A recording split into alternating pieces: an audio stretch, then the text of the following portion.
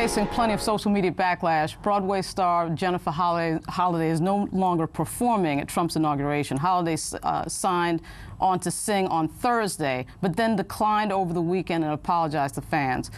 Here's a portion of her statement. Quote, my only choice uh, now is to is to stand with the LGBT community and to state unequivocally that I will not perform for the welcome concert or any other inaugural festivities.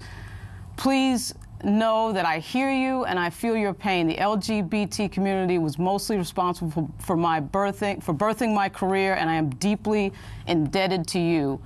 Uh, when asked why she didn't apologize to the black community, Holliday told MSNBC host Joy-Ann the community offended her.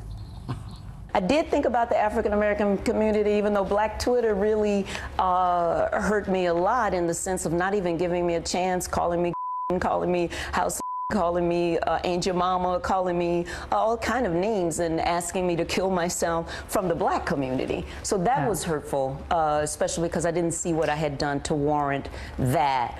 Um, but I do think that one thing that I looked at that maybe I should have looked at the climate of where we are today. Sure. And uh, so that would be my fault. Everybody kept saying, "Oh, did the Trump did Trump trick you?" Or no, they did not trick me into one. I wanted to sing on the mall for America and for yeah. the people. I wanted my voice, I thought, to be an instrument of healing and unity. Mm -hmm. That's all I thought about.